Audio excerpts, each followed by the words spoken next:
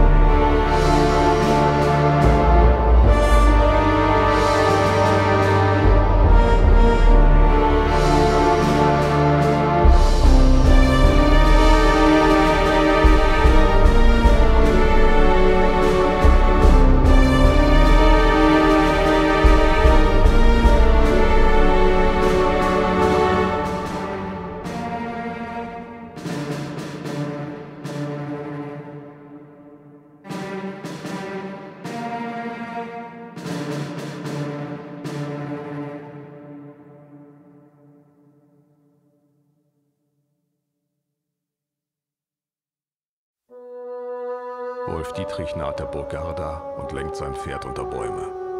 Da vernimmt er von einem der Türme die Stimme eines Wächters.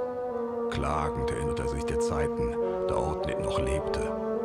Frau Sitra tritt weinend zu ihm an die Zinne.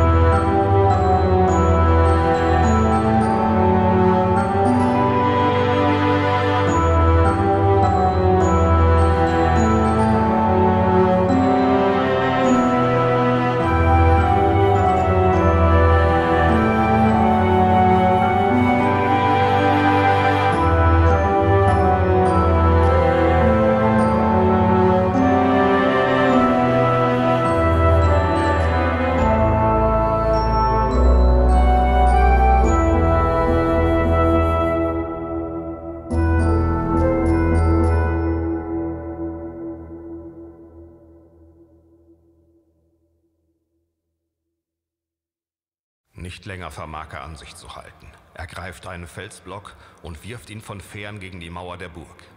Erschrocken fragen Sidrat und die herbeigeeilten Wächter, wer diesen Wurf tat. Wolf Dietrich gibt sich zu erkennen und schwört, den Drachen zu töten.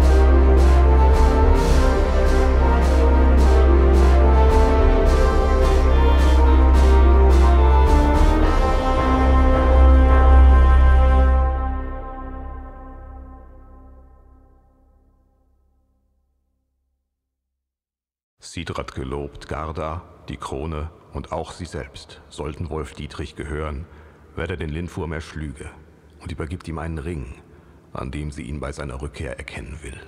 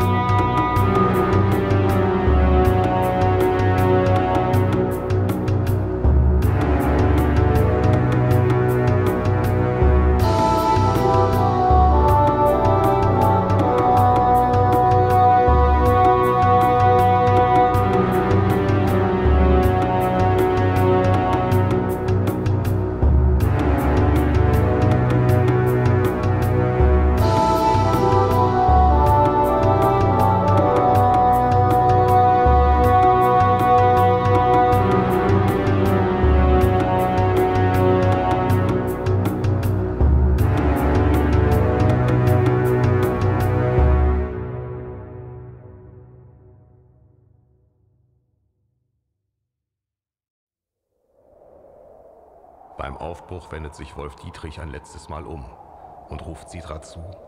Es muss gewagt sein.